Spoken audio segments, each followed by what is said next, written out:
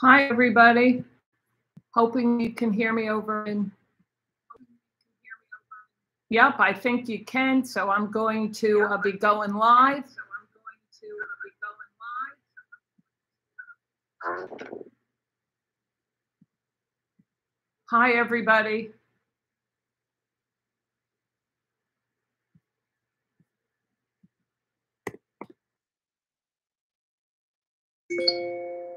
Okay, everybody, it's 9 a.m. Give me one minute and I'm going to be going live uh, and talking to all of you. Uh, let me just make sure that this is all working. It's my first live.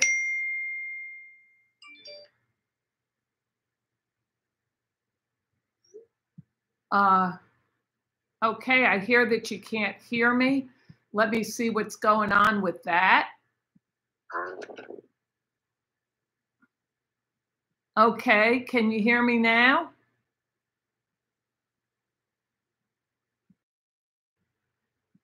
My volume's all the way up.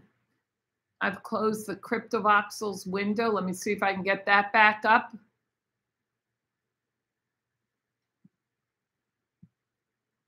See if you can hear me where there's a setting for that.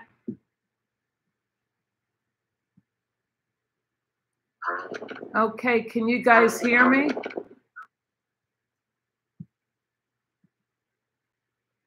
Not sure. Okay, did that work? Okay, did that work?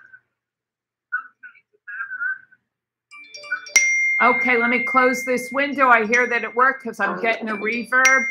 Okay, everybody, just a little glitch here at the beginning but I'm really excited to be here. I'm getting some notes and some show and tell I'm going to give you. And I'm really uh, very excited to talk about a couple of things this morning. First, um, I'm going to be telling you about the Art Justice Cohort's creative process in making our first NFT exhibition as part of the Shilla Bees at the Hive in CryptoVoxels that the wonderful Hanifah uh, has put brought us all together. She's brought together 10 artists who are going to be showing their work uh, in the Shilla Bee Hive in CryptoVoxels.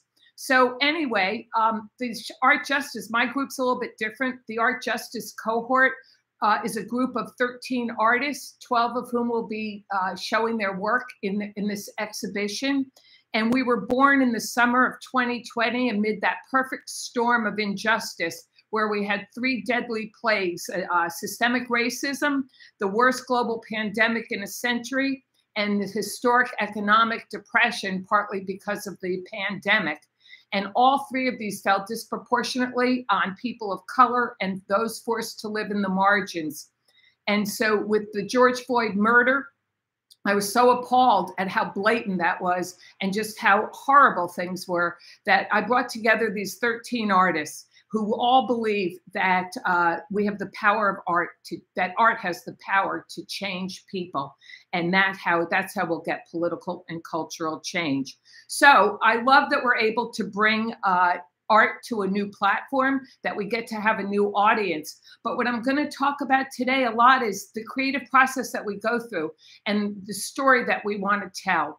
And regardless of what the platform is for me, and uh, it is the same creative process of how I decide what work will come together, what work of my own that I will show, and how I will tell the story that I want to tell.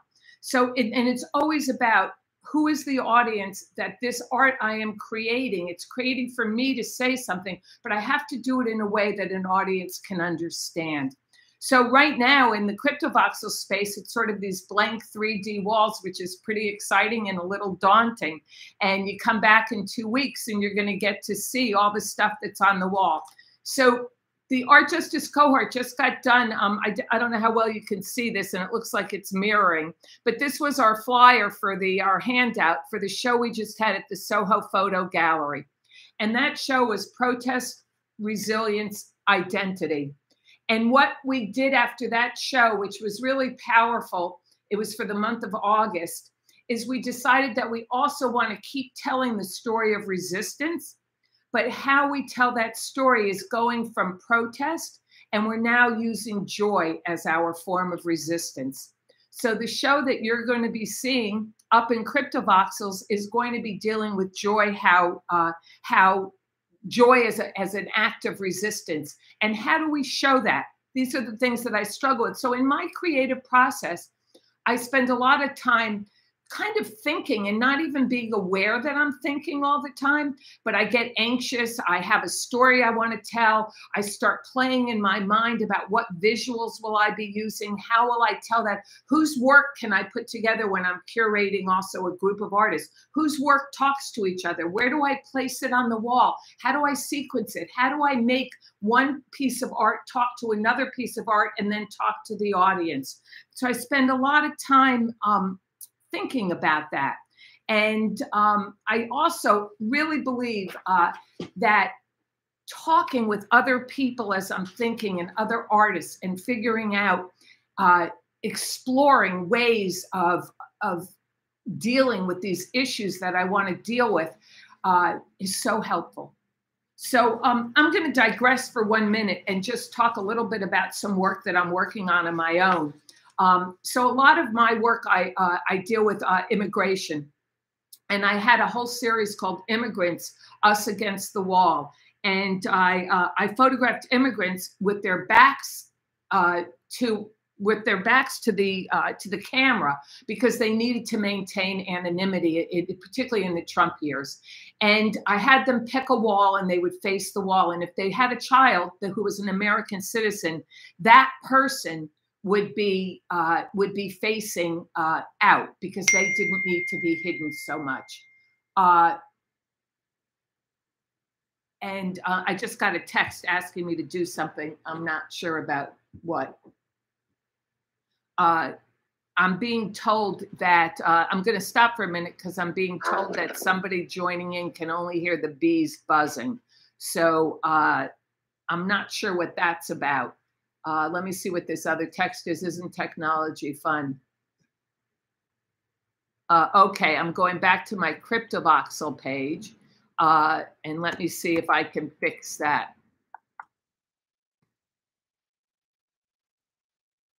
Not sure, but we're going to give it our best shot. Nope, this is. Uh, did you click on the? Um, you have to click on the screen, I think. Um, I'm so sorry, everybody. I'm going to click on my screen again here. And uh, can you hear me now?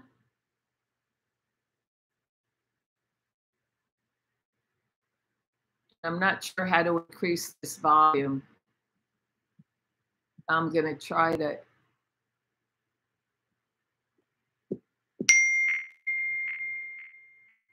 Okay, so um, I'm going to close out this window again. Is that correct? Close out this window again. Is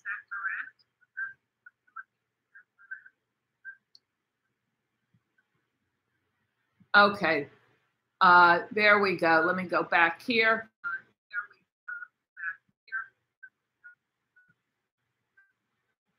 Okay. So um, I think I'm still have a. Okay, I needed to close out the other screen. So I was starting to talk about the creative process that I use when I'm trying to start new, which is what I've been doing. And some of that work will be shown in this show. So I was talking about immigration and up against walls. And I was thinking about how do I take those more literal graphic walls that I used in my other work and how do I turn those walls into something more metaphoric, something that would tell the story of systemic racism and also all the systemic uh, injustices that we experience, all the walls that are placed and the boundaries and the borders that are placed in front of us. So what I've come up with is I'm photographing people uh, behind uh, cellophane and behind paper, highlighting how we um, how we don't view people. We view uh, their race, their gender, their age prior to viewing them as a human. So I am I'm just going to show a couple of these to see if you can see this. I like holding my phone up. So if you can see that, it's a little uh, glitchy and it's a little hard to see, which is actually kind of the point. Uh, just do that now. And um, this is what you'll see. It's I can tell it, you know, the light isn't very good, but this is what I am working on now, this process uh, of these images, and you'll be able to see them up in uh, some of them up in this exhibit that we're doing as NFTs they'll be. One of the great things about photography is you can actually turn your photos into NFTs and that you get this whole new audience and this whole new way of a whole new platform and a whole new way of uh, of, uh, of of creating and that's really uh, pretty terrific. So I want to go back a little bit to this whole notion of joy as an act of resistance and talk about how it's really taking the anger that I think many of us feel and how we bring that into a place of joy. Because what is more, uh, more uh, uh, uh fulfilling than being able to show that you are still joyful. You know, the act of protest, when I go and protest, I actually feel a lot of joy because I feel powerful and I feel I'm with people who are like minded and I get this whole visual uh, sense comes over me and a whole sense of joy. So, how I translate that into, uh, I use my camera a lot as my tool to create my art. And then, how do I use that and how do I do that? To uh, to continue bringing that feeling to to the art and to my world and getting that out and making me feel fulfilled. So um, what I did was uh, just to tell you a little bit more concrete. I met with a right hand person, and I want to give a shout out to the members of the uh, Art Justice cohort. So, because they're really a fabulous group of artists. We have Gus Bennett, who is a uh, guy in his 50s lives in New Orleans and is all about photographing his community. And uh, during both Katrina, he helped uh, he helped build back, and during uh, the storms recently, uh, he was able to really uh, take care of his community. Is where he focuses on and where he focuses his work, um, and it's just stunning. Isaac Scott is a uh, potter who wasn't able to get into a studio during the pandemic uh, lockdown. So he picked up his camera and went and photographed down at the Philadelphia Museum. He's in grad school there. And the images he took of the George Floyd protests from down there won him the National Magazine Award for featured photography. Something that people work on photographers for their entire lives. It's really stunning work. Uh, Dan Alvarado does these does photography and then does these fabulous pencil and pen and, and painting silkscreen uh, uh, images and, and, works of art from his uh, from his photos. Um, Amber J. Phillips is a storyteller and an activist, and she just has her first video was in the Black uh, Black Star International Festival in Philly, and it won the uh, the narrative of the audience narrative award for storytelling it was fabulous. Sharila Maid Bonfeld is a tapestry artist, and uh, it's just you'll be amazed at the works of art that she creates with a needle and thread. And one of the most striking that we had at the Soho Photo Gallery was an image of 1,600 names of the people police have killed uh, uh, in the year 2016. Diana Bajerno, if we have time today, I'm going to play a little video. She talks about her creative process in coming up with her. She does these white wedding dresses of uh, domestic violence. There was a woman murdered by her uh, partner on the day of her wedding. And every year, women go out and protest wearing wedding dresses. Uh, Francisco Ucito is a Spanish American, uh, brilliant uh, artist and uh, does a lot of variety of work for, and in a variety of mediums, and also as an educator. Um, Anonymous is a woman who is, uh, particularly in the Trump years, was worried to show her name. So you'll see her beautiful emotional work about what it is to be a migrant. Annalise Barlow, another great photographer who photographs her community uh, in color and in black and white. Uh, Chris Fassi and Vanessa Charlotte are two new members, and they both uh, photograph their Black communities in very emotional, moving ways as photojournalists and as fine art photographers.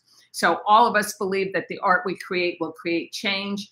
And now we're so super excited to be going through this process of how we're going to put our 3D, you know, our NFTs to this 3D space.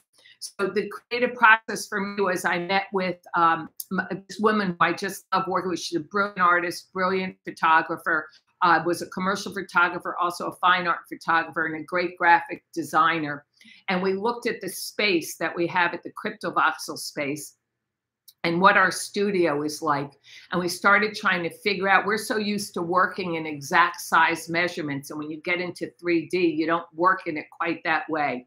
But what we're going to do is create schematics in Photoshop where we have a little bit more control and then bring those into the 3D world so we can be certain that we have photos that are uh, talking to each other and work well being next to each other. It's a little challenging because we have uh, 13 or 12 different artists and sometimes you'll want to show more than one or two pieces to have things really talk to each other really tell your story. So we'll have to see how that all works out um, but it's really fun to move everything around. It's fun to think about turning them into NFTs where you might do something that's a little bit more graphic, a little bit more striking, uh, so that it really hits you uh, and you get the great digital light that uh, that brings so much more sometimes to some of these images.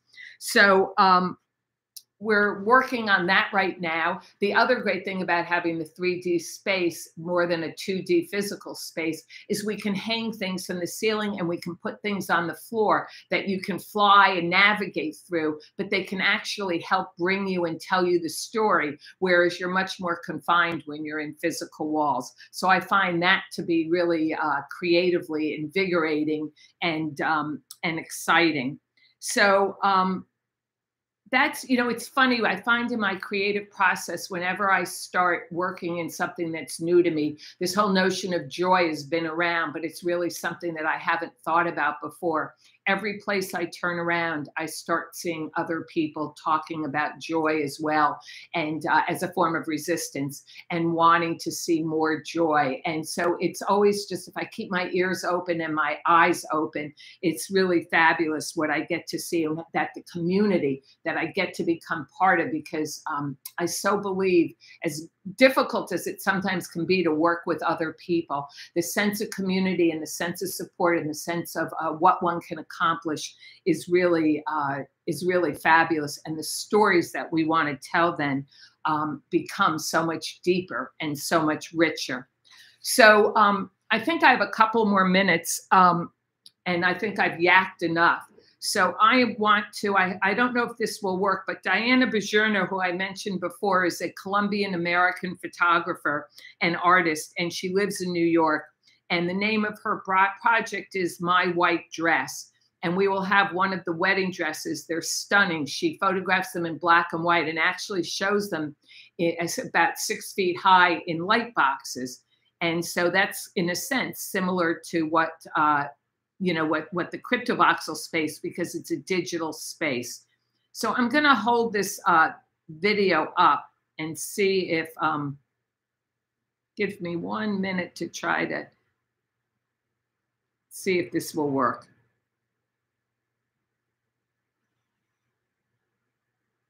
I'm having we're having it's always you know when i i uh, tested this before and it worked but now it's not working there we uh, go. In the projects that I work with and how okay. Okay. So I, I met a lot of them and they told me there's okay. idea. Here we go.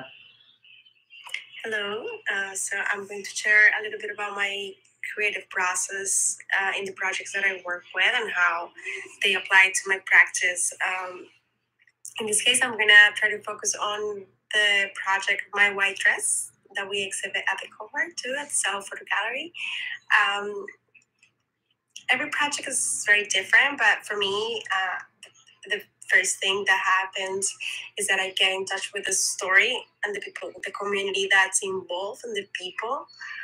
And I try to do a lot of research. Uh, in the case of my white dress, I I heard the story and I read about it.